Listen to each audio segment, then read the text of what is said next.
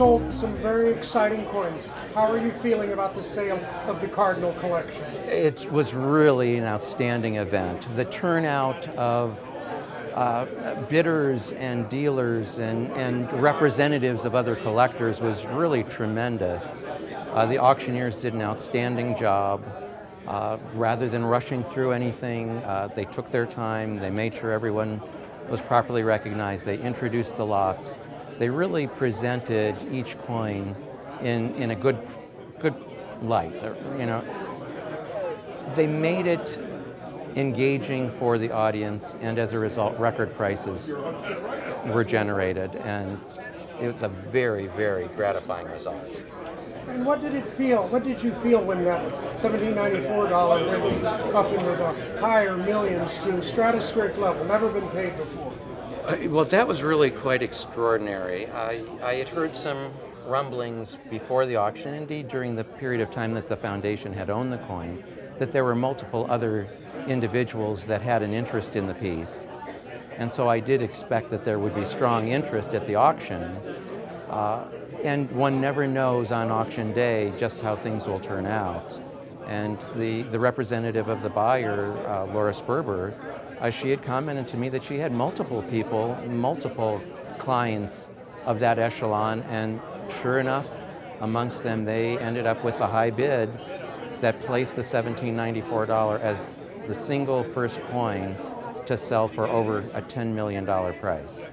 Really just unbelievable, uh, historic. I mean, it's an historic piece, and it just realized a very historic price. Why did you choose auction rather than private treaty? My day job is I'm a CPA. I work as the curator for the foundation, but the the processing of working with multiple bidders, uh, doing it in all fairness to each person who wishes to be represented and heard, to give everyone a fair shot, I thought the fairest thing for all parties involved would be to involve a reputable uh, auction company, have the, have the piece presented in its best light so that bidders could bid with full knowledge and full information and have the opportunity to consider their bids and then compete against each other.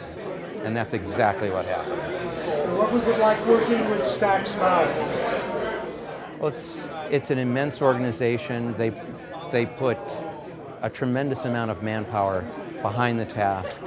They worked on the cataloging, the, the historical references in the cataloging, the quality of the photography, the quality of the graphical layout, and, and the presentation of the catalog itself truly outstanding uh, over a span of many months. And then brought to this extraordinary venue, penthouse overlooking Central Park in New York City. What more could you want? Truly an extraordinary experience. And what's next for the Cardinal Foundation? The next for the Cardinal Foundation is to, to digest the results of this see where the market is and see what next areas it can focus on to bring educational information to the world of numismatics.